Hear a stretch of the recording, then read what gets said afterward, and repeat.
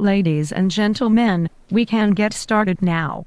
My name is Cutie Pie and tonight I am proud to be introducing a really cute guy, but he doesn't pay any attention at all to my flirting, and sometimes I fantasize about, well, you know, about doing him from top to bottom.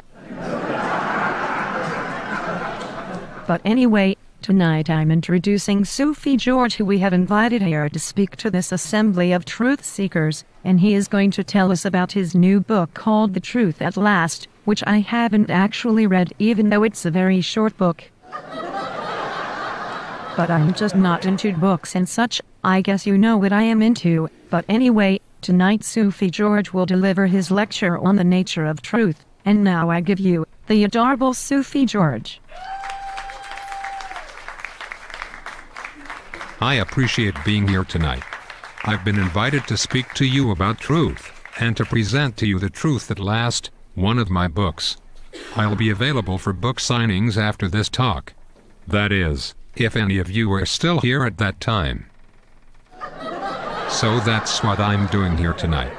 But how about you? Why are you here? I have suspicions about you, you know? I think you already know the truth and you want to see if my truth agrees with your truth. If it doesn't, you're going to think I'm a raving lunatic. If my truth does agree with yours, then you will acclaim me as the genius of the century.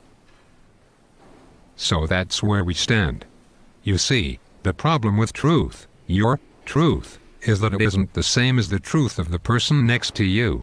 When you consider the people beyond this auditorium, the people in the world, there are more different truths to believe than you can even count.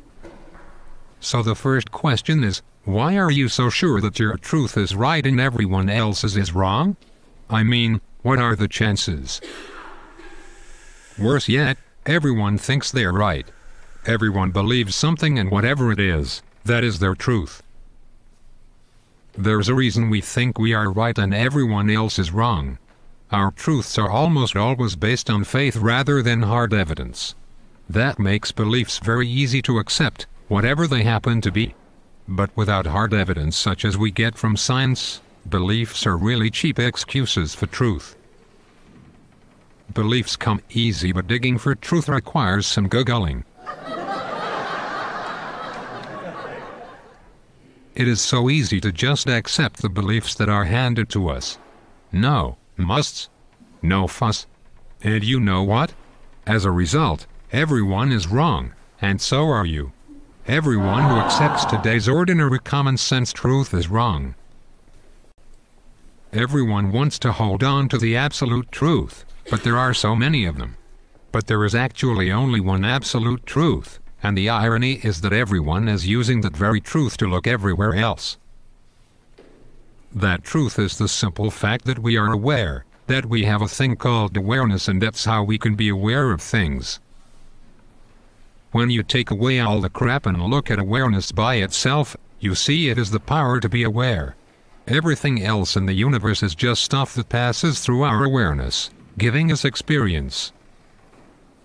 Think about this. If we really have a soul, wouldn't we know it? What do we have that we do know? What we have long referred to as the soul is none other than our awareness.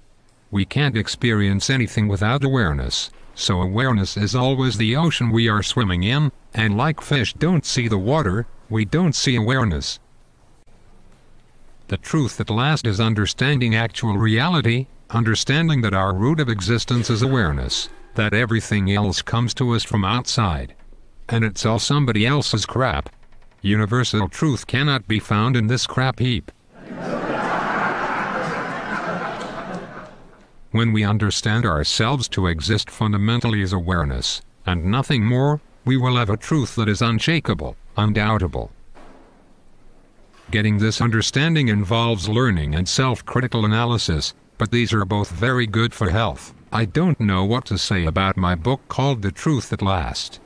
I haven't read it since I wrote it so I don't remember what's in it. It's not that the book is so forgettable, not at all. It's a thing with my memory. I remember that it's a quick read, though. So, do you have any questions?